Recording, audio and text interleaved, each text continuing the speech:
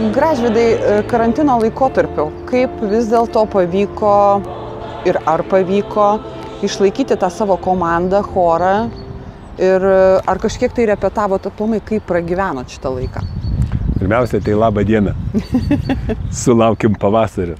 Saulės gražios. Tikimės, kad su pavasariu keisis mūsų kultūrinis gyvenimas, grįšim į gyvenimą, tą, kurį prieš metus laiko gyvenam solidžiai ir smagiai. O karantinas, kaip ir visus, veikia labai neigiamai su tonos spaudimui kvadratinį centimetrą. Geras Čia gal sakyčiau, smegenų centimetrą. Taip, atėmė korona visus mūsų malonumus dirbti kolektyvę. Ir pavasarinis tas karantinas buvo tokia didelė naujiena. Visi puolėm ieškoti alternatyvų, kaip reikia dirbti. Bandėm, bandėm ieškoti galimybių dirbti namie patys su savim, bet išėjo šnipštas, paskui dievulis nuleido atlaidus mažus ir mes Liepą atsigavom. Jau Liepą mėnesį turėjom pirmą koncertą. Paskui buvo labai smagus dalykas, aplankė mus aukso paukštė. Ir po aukso paukštės vėl kritom į didelę bedugnę, iš kurios įsikapstėm. Esam sveiki, gyvi, laukiam naujų. O gyvenimas toks, kad virtualus darbas yra neįmanomas.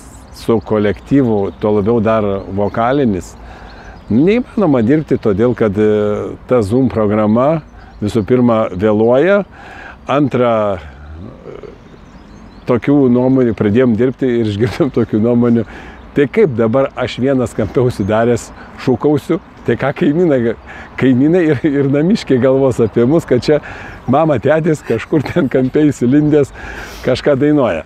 Tai va tas labai stipriai davė per mūsų repeticijas.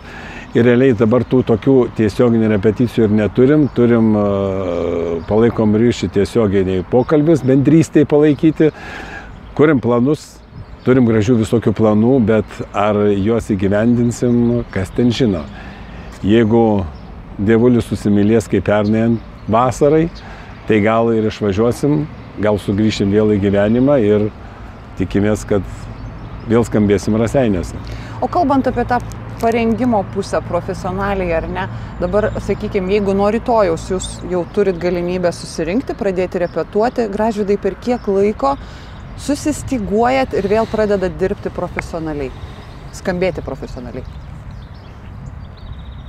Va čia yra didelis klaustukas. Visiškai nežinau, gyvenime pirmą toks, toks įvykis, bent jau mano choriniai, va šį metą 30 metų būtų, kai aš dirbu su choru, choras švestų 65.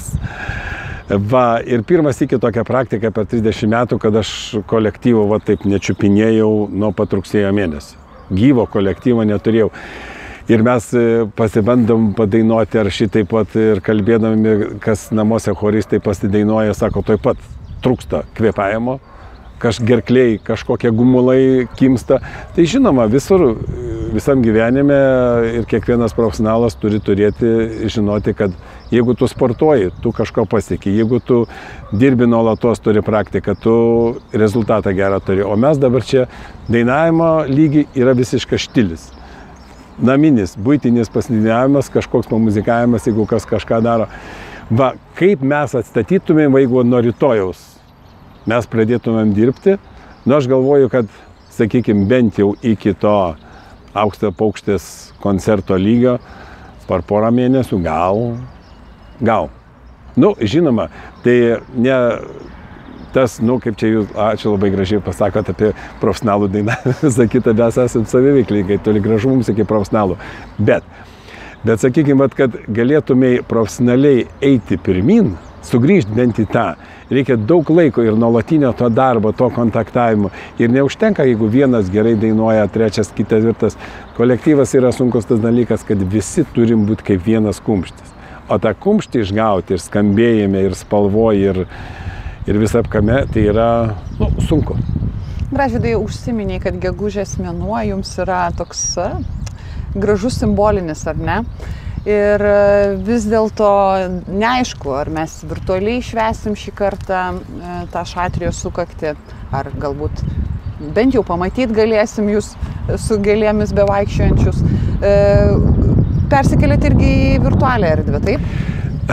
Ne, tas gegužės mėnesis, jeigu grįžtam atgal, mes nuo mano, pat per 30 metų, mes visą laiką choro jubiliejus, kaip susieina 5, 0, 5, 0, visą laiką švenčiam mes gegužės mėnesį.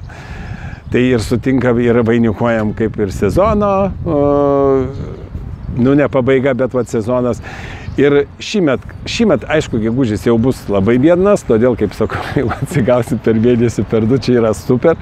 Mes jau esam nuplanavę, kad jeigu viskas gerai ir mes pradedam dirbti, mes jubiliejų nukeliam šįmet į spalio mėnesį, tai yra spalio 16 diena.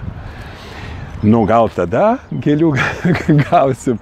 Va, o, nu, daug dievė, kad mes išliktumėm. Ir dar, pamiršau pasakyti, labai bijau, ar nebus žmonės suradę kokiu nors kitų alternatyvų savo veiklai, savo laisvalogį užpildyti. Va to pirmo susirinkimo ir kada va, mes susėtumėm visi, visas 40 žmonių ir pasakytume, mes vėl grįžtam ir vėl mes dirbam taip, kaip dirbam, būtų, yeah, būtų labai smagu.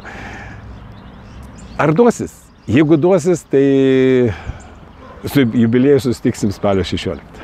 Tačiau gegužės mėnesį kultūros centro režisieriai yra sugalvoję paminėti, vis dėlto archyvai dideli ir neišsemiami. Jūsų yra video įrašų, Tai gegužės mėnesį e, Raseiniškiam e, virtualioje erdvėje ieškoti ko? Tai vad, e, laikydami tą tradiciją, kad gegužės mėnesį vis tik tai yra kažkokie tokie šventinis mėnuo šatrijos kolektyve, tai mes darome choro savaitę.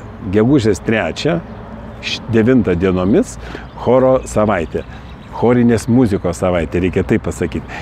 Ir kiekvieną vakarą, pirmąjį, antrąjį, trečiąjį, ketvirtadienį ir penktadienį, jūs mūsų Facebook'o paskyroje galite stebėti mūsų koncertus. Įvykusius ne virtualioj aplinkoj. Ar laukėt su savo kolektyvu to tikro realaus susitikimo? Oi.